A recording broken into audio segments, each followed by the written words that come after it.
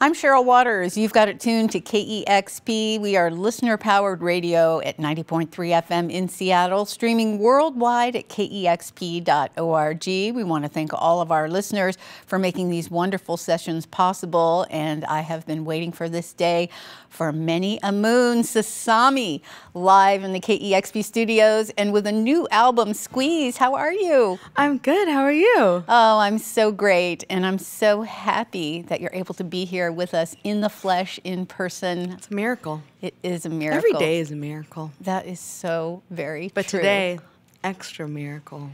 Well, I cannot wait to hear these songs live. Squeeze, wow, what a record. And I can't wait to hear this band. We'll chat at the end, but why don't you play some new songs for us? It's Sasami We'd live. Be, we'd be honored to play. Thank you. Sasami live on KEXP.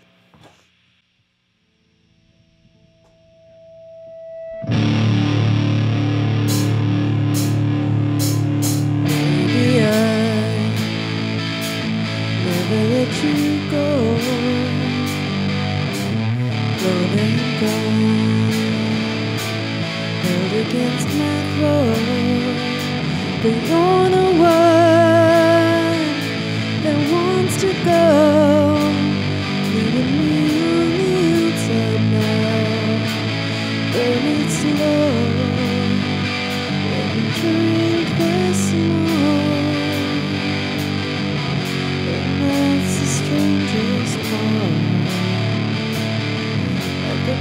bottom of a wasted heart.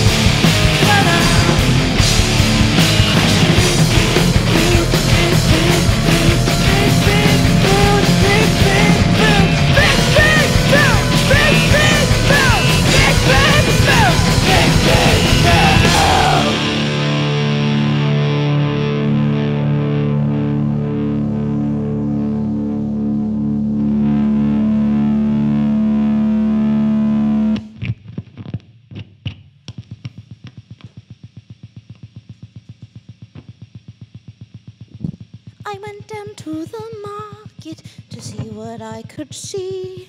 A thousand little gremlins looking up at me. So I went into my pocket and I grabbed a couple pence and I took those little grunions and I ate them!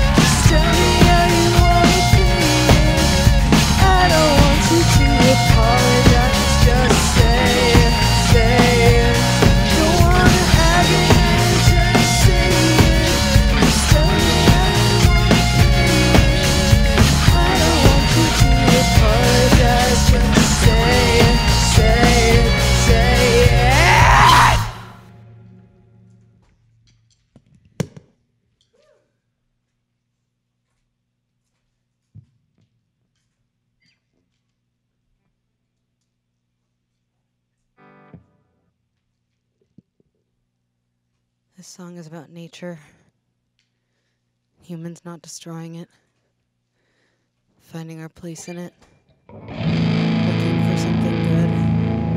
In the human spirit, in the human soul.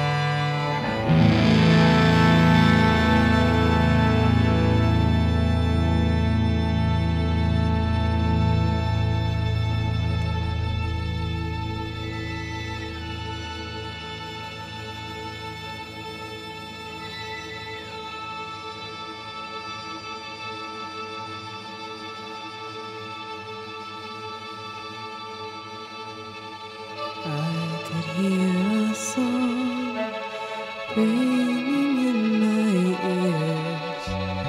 And down my love to hear. Melody so sweet and harmony like waves. It brought me to my knees and took my breath away.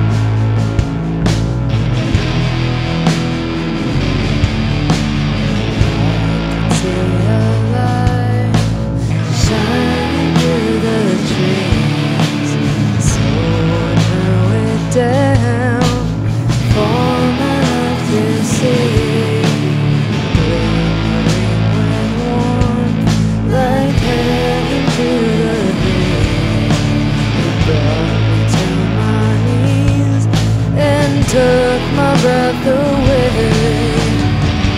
I tried to take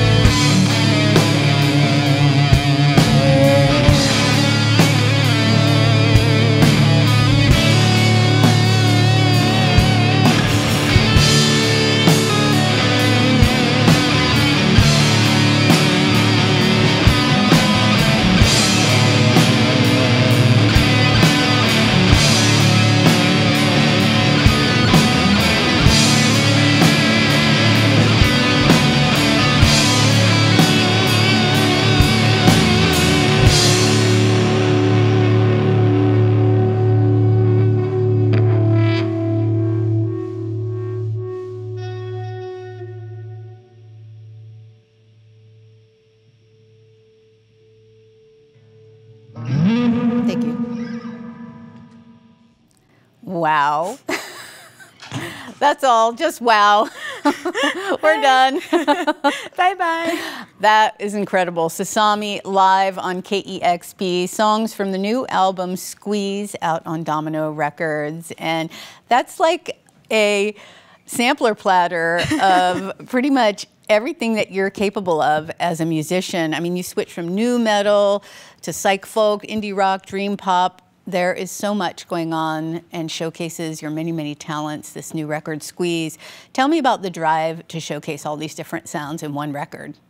I think that everyone carries a lot of multiplicities within themselves, and I think that um, because art is this like fossilized version of whatever emotion or thought you're having at that moment, people tend to like impress that definition onto you. Um, but I think we all carry a lot of different moods and emotions and vibes, and so this um, album was just made at a time where I was, you know, locked at home and spinning out and experiencing all of them and not just experiencing one of those kind of feeling. So, yeah, I just created an album with a, a different sonic palette than the last one, but it's still the same painter. It is Mwah. still Sasami. And I understand that not too long before the lockdown and right before you left for an idyllic retreat, not too far from here, you went out to see a nu metal show and you weren't even sure you wanted to go because you were getting yourself in that kind of, you know, retreat mode. But you went and it blew your mind and so much so that we have those band members here with you today giving a new meaning to the term hair metal. Yes, exactly. I um, was going to Hedgebrook, this really amazing songwriting retreat that I was really lucky to get nominated to go to um, on Whidbey Island. And I was heading up there, and I decided to go to Five Star Bar in downtown Los Angeles the night before and met these handsome and rascally types. And yeah, I mean, basically, I went to the show, and a shard of metal just whizzed right past my eyes, and um, that was Dylan playing the cymbals. And between that and the double kick pedal, I was kind of it was love at first um, metal shard. Well, you might have been, something might have been awakened in you at this Barishi show, but you'd already had it in mind to have sort of a more loud, more aggressive record on this next one. And I understand that was kind of based on ramping up um, the attitude at your, while you were touring your last record. Yeah, I think that there's an element of like survival mentality when you're on the road touring an album, and um, I think sometimes that can get put into the intensity of the set itself. And um, by the time I was I was at the end of um, touring the self-titled album, it was getting a lot heavier, and so I knew that I wanted to kind of bottle some of that energy up and put it on wax. This record is not autobiographical, you've been very clear to say, but it's sort of more focused on the emotional experience of the listener. And what are you hoping that the listener will come away from when listening to this album and seeing you perform it live? I think I just wanted to create a space where um, people could have a soundtrack for a certain type of catharsis and, um, you know, processing all the heaviness that we're going through. And there's nothing wrong with processing it by trying to be positive or uplifting or trying to be sad and kind of go deep into those emotions, but there is also a really important element of needing to air out your grievances and needing to let some of the rage out. And um, I think that it's actually a very un, it's a very non-violent act to rage to rock music because you're you're releasing some of that energy that might build up and be toxic in another uh, form if you don't let it out. Just listening to like some of- gas. just listening to this record and seeing you perform these songs live, I it, all this rage and frustration that we've had pent up over the last couple of years. It's nice to kind of let that out. I find myself singing slash screaming along to these songs, and I can only imagine what it feels like to perform live. Yeah, I mean, um, I'm dead inside, so uh, if it seems like I'm raging, that is purely performance and adrenaline. No, I'm just kidding. Um, no, I mean, again, it's like when I was making this album, it was much more like writing and and making a film. It's such a long form process, but that by the time you're at the end of it, you might not be feeling the things that you were feeling when you were making it. So I was very intentionally making something that was really a, an environment or a sound for other people to process, while um, while you know I felt that really heavily when I was writing it, but now it's kind of like it's just my my job to serve the mozzarella sticks, onion rings, um, stuffed mushrooms, you know, the platter. Squeeze is my my fried food platter for the world. Your sampler poo poo platter. Exactly. The things that give us gas. exactly. You invited some wonderful people to join you in the studio on this record. Can you talk about some of those guests? I'm thinking offhand Meg Duffy of Hand Habits, who we love here. Yeah, yeah. I was really lucky to, I mean, um, be quarantined in Los Angeles, and of course, there's just an endless plethora of musicians there. So, um, you know, Kyle Thomas of King Tuff and and Meg of Hand Habits are my two housemates. So we were. You know, locked in a house together and made all three of our albums. And um, Ty, who's a really good friend of Kyle, Kyle's, he had just built a studio in Topanga, and um, and we were, you know, talking about Judas Priest and talking about certain like analog metal tones and we decided to go in and, and cut some of these songs and so I, I recorded you know dirk from megadeth plays drums on some of them and ty plays drums on some of them and, and we tracked a lot of it live and then kind of layered some stuff on top of it at kyle's studio What a collection of musical playmates that is. Yeah. So fun.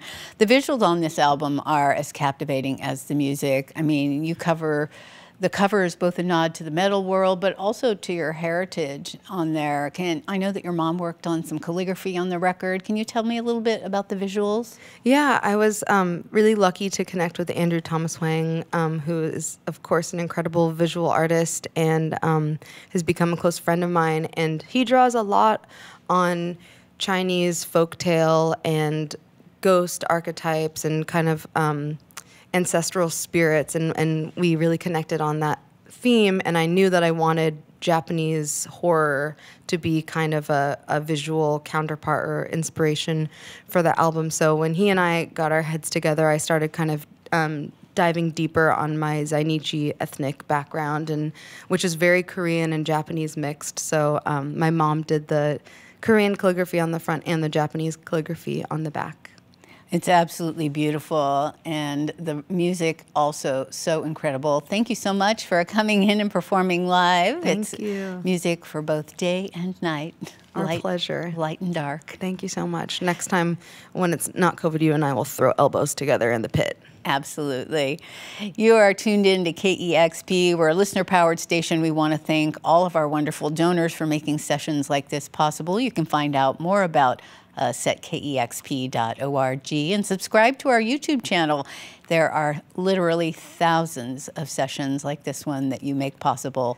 Thank you so much for joining us live on KEXP Seattle. It's Sasami with us today. Yay! Discover new music at listener-powered kexp.org.